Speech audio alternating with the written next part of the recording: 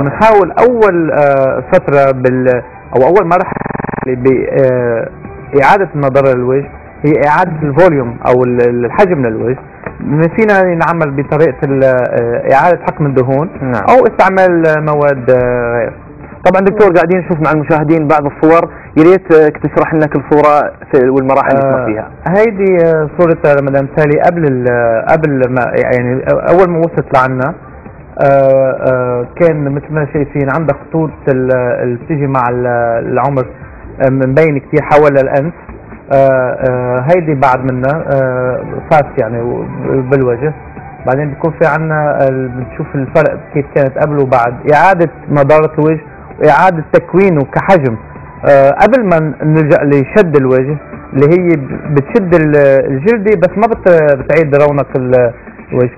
هون profile في عنا ال- بتشوف ال- الأنف أكيد قبل وبعد بدك تشوفها هلا بعد شوي ال- ال volume اللي كان آه، خسرانينه بالوجه والجفون ال- ال- العلوية مم. اللي انعملت. وأيضا تحت الأنف هيدي. آه، آه، أكيد ال- الشفايف ال- تحت الأنف الدقن حتى الخدود حتى بالحواجب بنحط آه، volume لإعادة ال- الشباب للوجه. نعم. مهم. دكتورة ريهان في كثير أكيد الأكاديمية الأمريكية فيها كثير من التقنيات الحديثه يا ريت تحكينا عن التقنيات اللي اشتغلتوا فيها مع سالي مثلا.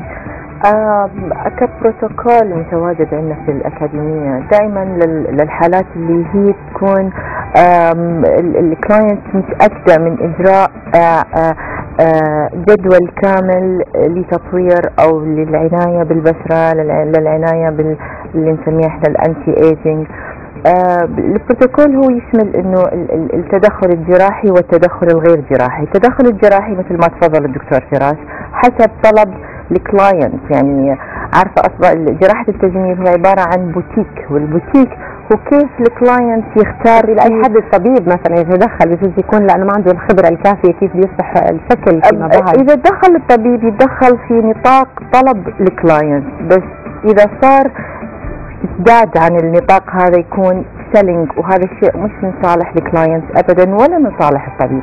يعني لو لاحظتي شفايف سالي شفايف طبيعية جدا جدا. صحيح. آه يعني ال- ال- الشفايف اللي هي ال- ال- ال contour اللي يخليه يعطي الفوليوم مثل ما تفضل الدكتور.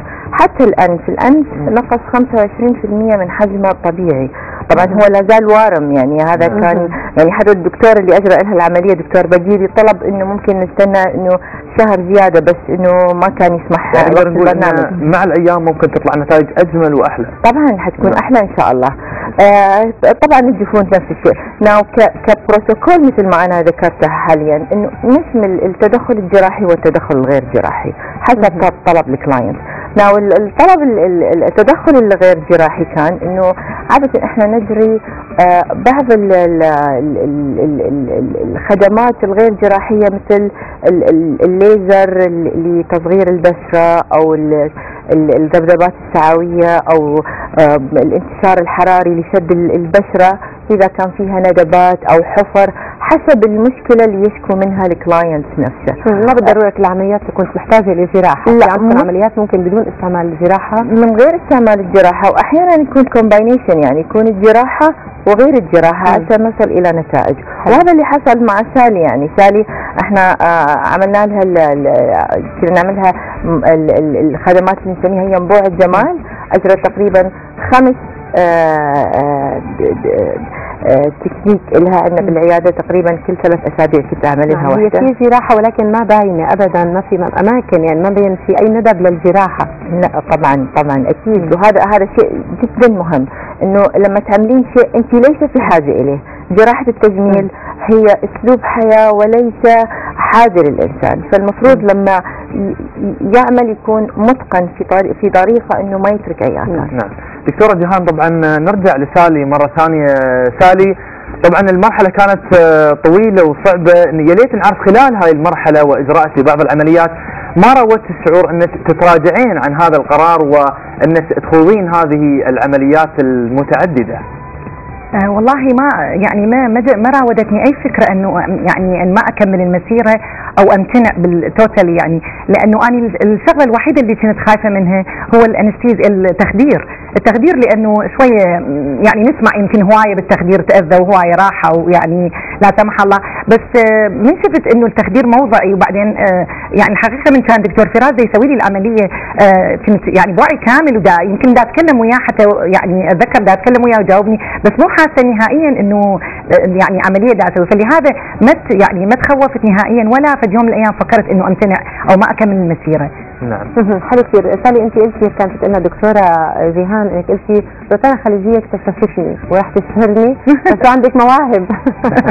لا والله يعني المواهب يعني محدودة ولكن بكفي يعرفنا بكفي يا ريت لنا شو محيط محيطك الناس اللي حولك. كيف كان ردة فعلهم الشكل الجديد لسالي؟ أول شيء والله نيجي على محيط العائلة زوجي يعني. بالبداية يعني شوي بده يشعر إنه أكو تغيير بالوجه. بده يقول لي ما يخاف أني راح أقبل بس راح أنتظر أشوف يعني ينزل الورم أو فد شيء بس يوم عن يوم دي يعني كلش كان بده يشوف إنه فرق بده يقول لي كلش يعني يعني الحمد لله أنا سويتيها لأنه بده يبين فرق أكثر يعني رجعني تقريبا 10 سنين يعني أشوف صوري اني القديمة. بيها من هذا الشكل الجديد يعني ف why not إنه واحد ما يطور بهالشيء نعم.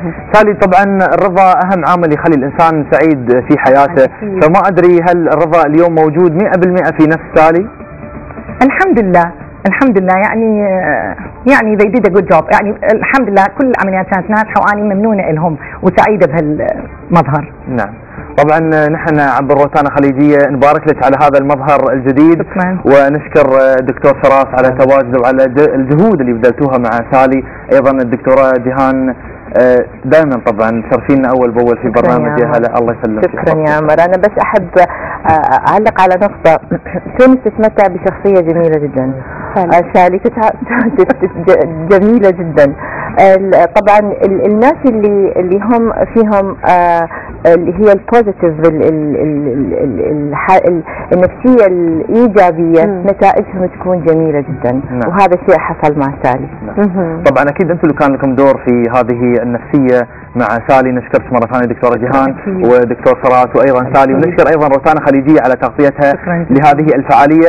وننتقل لهذه الحالة الصحية اللي مرت فيها سالي. وننتقل مشاهدينا إلى تزايد ظاهرة اختطاف الأطفال في المملكة العربية السعودية ولكن بعد الفاصل ابقوا معنا.